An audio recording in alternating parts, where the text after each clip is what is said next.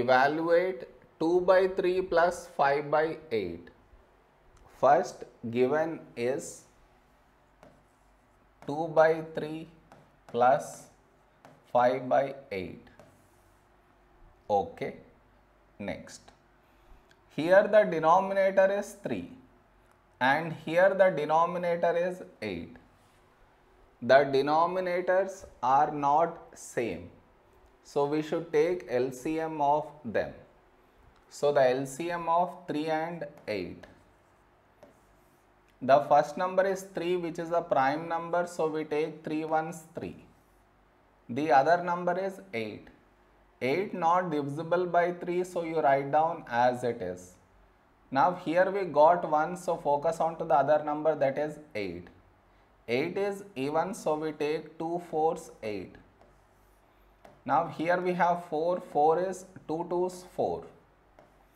Now we have 2, 2 is a prime number so 2 ones 2.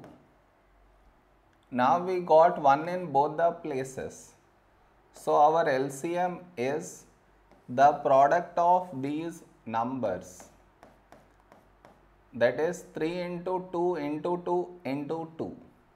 So 3 into 2 6, 6 into 2 12, 12 into 2 24. Once you got the LCM, you should write here in this way. Okay, next. Now here the denominator is 3 and here we have 24. 3 should change to 24. For that to happen, we should multiply here by 8. Whatever number you are multiplying here to the numerator also you should multiply by the same number. So 2 into 8, 16 plus sign as it is. Now here we have 8 and here 24. Here 8, here 24. 8 should change to 24. For that to happen, we should multiply by 3. Whatever number you are multiplying to the denominator, numerator also you should multiply by the same number. So 5 into 3, 15. Now you add these two.